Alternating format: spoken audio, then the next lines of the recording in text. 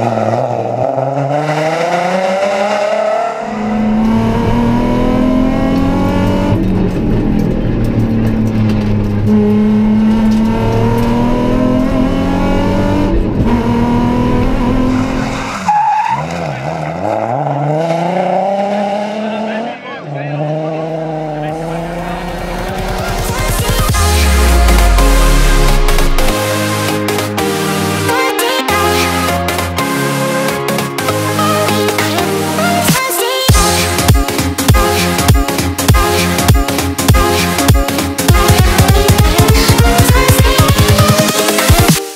sensible.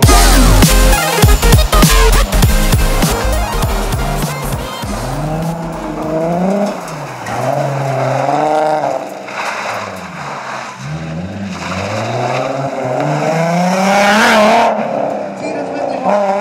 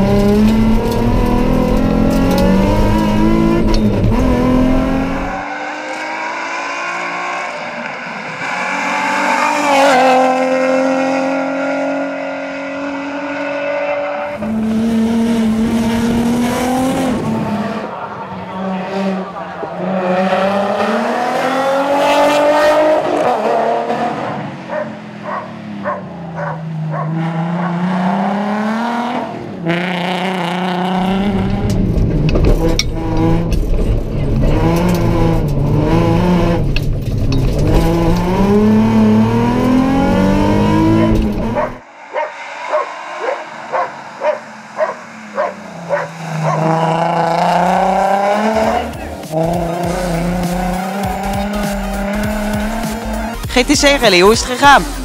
De- Het was gigantisch hard werken. Het zijn gewoon hele gemene, ja, echte rallyproefjes hier. Hoge snelheid.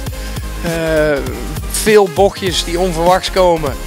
Eh, en het hoofddoel was om de finish te halen. En dat is, gelukt. We hebben de auto thuis gebracht. We hebben geen schade gereden. Eh, we hebben best wel hard gereden, maar om een of andere reden zat het tempo er niet in. Ehm, industrie hebben we toch nog een hele leuke klassering neer kunnen zetten. En eh, nou ja, dankzij het uitvallen van Antoine hebben wij wel de vierde plek in het kampioenschap weten te pakken. Dus uiteindelijk zeer geslaagd weekend.